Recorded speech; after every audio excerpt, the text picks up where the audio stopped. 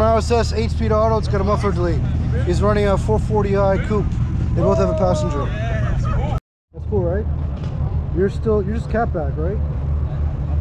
Just a muffler. Besides, doesn't, doesn't even do anything. All right. You think?